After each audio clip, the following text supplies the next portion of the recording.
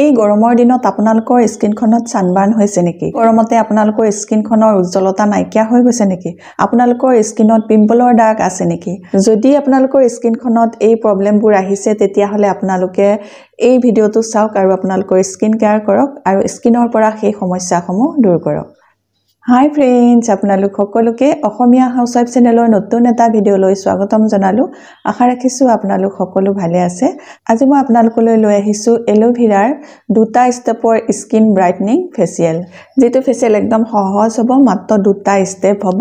সহজ সহজ ষ্টেপ সহজ নিয়মেৰে সহজ তৰিকাৰে মই আপোনালোকক এই ফেচিয়েলটো কৰি দেখুৱাম আৰু এনেদৰে আপোনালোকে স্কিনখন কেয়াৰ কৰিলে আপোনালোকৰ গৰমৰ দিনত স্কিনত হোৱা সমস্যাসমূহ দূৰ কৰাত সহায় হ'ব। এই ফেচিয়েলটোৱে আপোনালোকৰ স্কিনৰ ছানবাৰ্ণ দূৰ কৰিব লগতে আপোনালোকৰ স্কিনৰ যদি সৌন্দৰ্য হেৰাই যাবলৈ ধৰিছে তেতিয়াহ'লে সেই সৌন্দৰ্য ঘূৰাই অনাত সহায় কৰিব।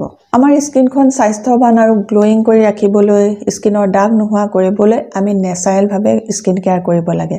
নেচাৰেলভাৱে স্কিন কেয়াৰ কৰিলে আমাৰ বয়স বাঢ়ি অহাৰ পিছতো আমাৰ স্কিনখন ভাল কৰি ৰাখিব পাৰোঁ। এতিয়া মই ভিডিঅ'টো ষ্টাৰ্ট কৰিম। ভিডিঅ'টো ষ্টাৰ্ট কৰাৰ আগতে আপোনালোকলৈ এটা ৰিকুৱেষ্ট আছে। আপোনালোকে যদি মোৰ অসমীয়া হাউচ ৱাইফ চেনেলটো নতুনকৈ চাবলৈ আৰম্ভ কৰিছে আগতে ছাবস্ক্ৰাইব কৰি লোৱা নাই তেতিয়াহ'লে সোনকালে সোনকালে আহক আৰু মোৰ অসমীয়া হাউচ ৱাইফ চেনেলটো এবাৰ ছাবস্ক্ৰাইব কৰি লওক।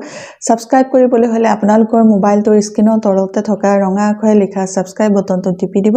ওচৰতে এটা বেল ওলাব বেলটো টিপি দিব। তেতিয়া মোৰ আহিবলগীয়া সকলোবোৰ ভিডিঅ' ন'টিফিকেশ্যন আপোনালোকলৈ গৈ থাকিব। আৰু তেতিয়া আপোনালোকে খুব বঢ়িয়াকৈ ভিডিঅ'সমূহ চাই থাকিবলৈ পাব। এই ফেচিয়েলটো মই আপোনালোকক দুটা ষ্টেপত দেখুৱাম। এই ফেচিয়েলটো কৰিবলৈ প্ৰথমতে মুখখন ৱাছ কৰি ল'ব। মুখখন ধুনীয়াকৈ ফেচ ৱাছ কৰি আহিব। ফেচ ৱাছ কৰাৰ পাছত এই দুটা ষ্টেপ কৰিব।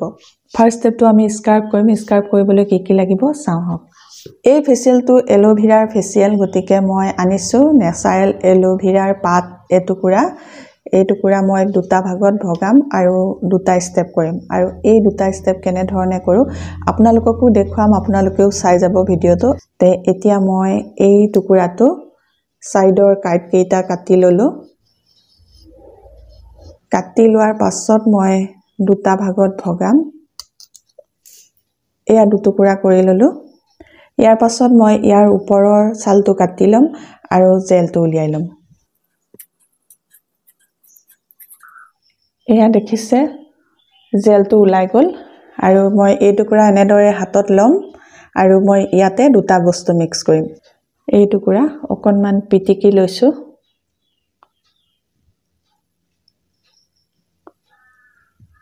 অকণমান পিটিকি লোৱাৰ পাছত মই ইয়াতে বস্তুকেইটা মিহলাম।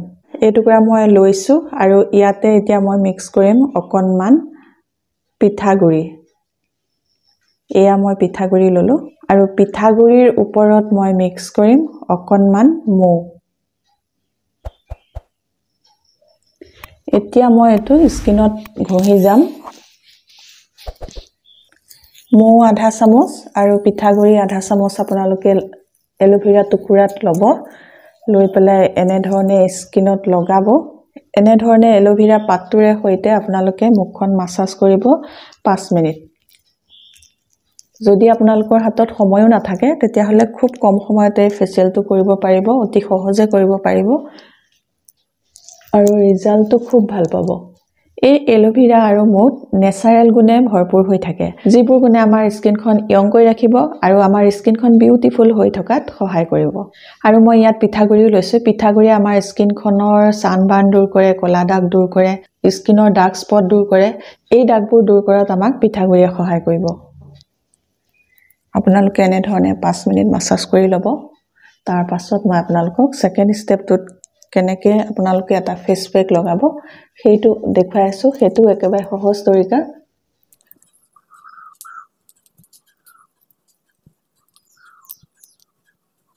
পাঁচ মিনিট মাছাজ হৈ গ'ল মোৰ। পাঁচ মিনিট মাছাজ কৰাৰ পাছত মই এতিয়া মুখখন ধুই ল'ম। মুখখন ধুই লোৱাৰ পাছত আপোনালোকক ছেকেণ্ড ষ্টেপটো দেখুৱাম ছেকেণ্ড ষ্টেপটো এনেদৰে একেবাৰে সহজ হয় আপোনালোকে কৰিব পাৰিব। প্ৰথমতে মই মুখখন ধুই আহিলোঁ তাৰপাছত আপোনালোকক ছেকেণ্ড ষ্টেপটো দেখুৱাই আছোঁ। মুখখন ধুই আহি গ'লোঁ। মুখখন ধোৱাৰ পাছত দেখিছে মুখখন কিমান ধুনীয়া চাফা হৈছে আৰু মই চুই অনুভৱ কৰিছোঁ একদম কোমল মিহি মিহি কোমল কোমল যেন লাগিছে। আৰু এতিয়া মই কৰিম ছেকেণ্ড ষ্টেপ ছেকেণ্ড ষ্টেপ কৰিবলৈ আমাক লাগিব আকৌ এল'ভেৰা পাত টুকুৰা। এই এল'ভেৰা পাতটোৰ ওপৰৰ বাকলিটো কাটি মই জেলটো উলিয়াই ল'ম। এয়া। এই টুকুৰা জেল মই অকণমান পিটিকি লৈছোঁ। পিটিকি লোৱাৰ পাছত এয়া আৰু ইয়াতে মই দিম এয়া অকণমান কফি। কফি পাউডাৰটো দিয়াৰ পাছত মই অকণমান হেঁচি হেঁচি পিটিকি পিটিকি এল'ভেৰা জেলৰ লগত ভৰাই লৈছোঁ। ভৰাই লোৱাৰ পাছত লাহেকৈ মুখত লগাই এনেধৰণে মাছাজ কৰিম আকৌ পাঁচ মিনিট। এনেধৰণে আপোনালোকে মুখত লগাই ল'ব। লগাই লোৱাৰ পাছত আপোনালোকে মাছাজ কৰিব।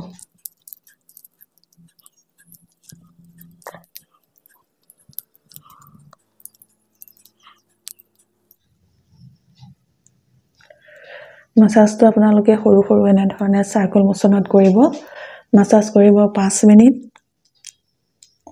এই ফেচিয়েলটো কৰিবলৈ বেছি সময়ৰ প্ৰয়োজন নহয় আৰু বেছি অসুবিধাৰো নহয়। এতিয়া মোৰ পাঁচ মিনিট মাছাজ হৈ গ'ল। পাঁচ মিনিট মাছাজ কৰাৰ পাছত আপোনালোকে এই পেকটো মুখতে এনেধৰণে লাগি থাকিবলৈ দিব। বিছ মিনিট পাছত অলপ শুকাব শুকোৱাৰ পাছত আপোনালোকে মুখখন ঠাণ্ডা পানীৰে ধুই দিব। মুখখন ধোৱাৰ পাছত আপোনালোকে নিজৰ নিজৰ যিটো মইশ্চাৰাইজাৰ লগায় সেই মইশ্চাৰাইজাৰ লগাব। মইশ্চাৰাইজাৰ লগোৱাৰ পোন্ধৰ মিনিট পাছত আপোনালোকে ছানস্ক্ৰীণ লগাবলৈ নাপাহৰিব। কাৰণ যিহেতু এতিয়া গৰম দিন ঘৰৰ বাহিৰলৈ ওলালেতো আমাৰ ছানবাৰ্ণ হয়েই। ঘৰৰ ভিতৰত থাকোঁতেও ছানবাৰ্ণ হয়। যিহেতু বহুত গৰম গৰমতে আমাৰ স্কিনখন ক'লা পৰে। সেইকাৰণে ছানস্ক্ৰীণ সদায় লগাই থাকিব লাগে। আজিৰ ভিডিঅ'টো ইমানেই আছিলে। এই ফেচিয়েলটো যদি আপোনালোকে ভাল পাইছে তেতিয়াহ'লে আপোনালোকে মোৰ অসমীয়া হাউচৱাইফ চেনেলটো এবাৰ ছাবস্ক্ৰাইব কৰি ল'ব। আৰু যদি বেছিকৈ ভাল পাইছে তেতিয়াহ'লে আপোনালোকৰ ফ্ৰেণ্ড চাৰ্কুলৰ লগত মোৰ এই ভিডিঅ'টো শ্বেয়াৰো কৰিব।